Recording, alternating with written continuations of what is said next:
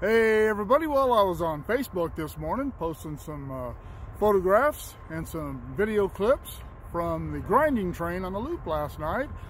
And somebody mentioned something about a derailment so I called my buddy and he said yep there's a derailment at the cable crossover. And there it is right behind me. Uh, it's my understanding that this train is going down the hill and was slowing down and either was put in emergency by the crew or or went into emergency, I'm not sure which. Went on the ground right here at the cable crossover, took out some signal equipment, but uh, I understand there were no injuries, and that's always a good thing. So now let's flip this around and see what's going on. All right, well, you can see they've got some cars pulled out of the way. I don't know how many cars in total were involved. It looks like two, three, four, five. Looks like six. You can see down there they've got an auto rack on its side. One still upright, one sideways. Another one over there. And a couple of tank cars. I don't know what they're hauling.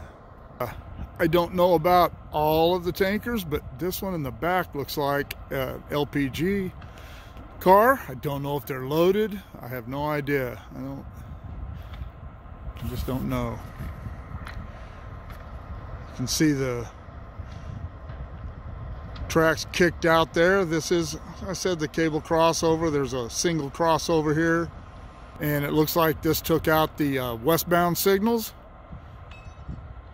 I'm the switch, you can see the it's left of the track down there shoved out off between the two auto racks there.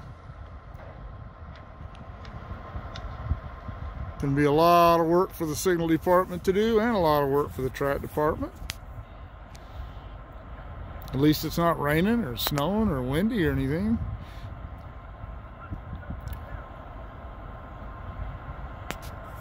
I didn't notice a lot of trains coming up from Bakersfield. There was one stopped at Sandcut and one stopped down at the other end of Cable. And I don't know, it was on the same track as this, so I don't know. That may be the head end of this train. They may have just pulled it out of the way. I don't know. I haven't spoken to anyone, and I'm not going to go swim in everybody's soup. Thing about the uh, derailments is they bring out everybody. Everybody who's anybody and even people who are nobody, like me.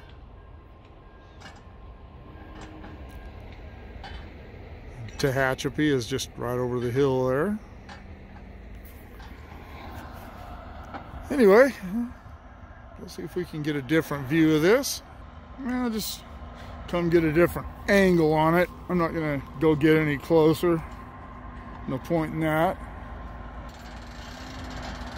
You see the signal house down there for the crossover. It looks okay. As I said, you can see that the signals for this end of the control point are gone.